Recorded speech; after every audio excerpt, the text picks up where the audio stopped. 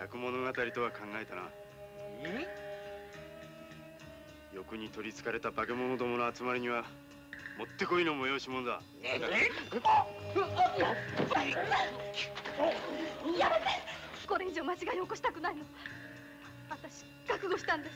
バカなこと言っちゃいけねえ。それじゃこいつらの思い通りじゃねえか。こうなりゃこっちだって腹をくくってやる。潰せるもんなら潰してみな。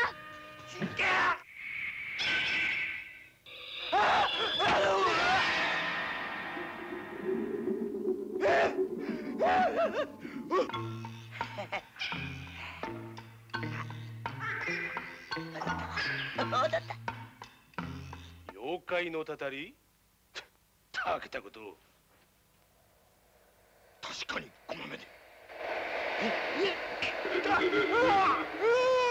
ぞっと身の毛がそう受け立ちましたそこにはよほど苦しんで死んだと見えまして歯を食いしばり土毛色になった男の首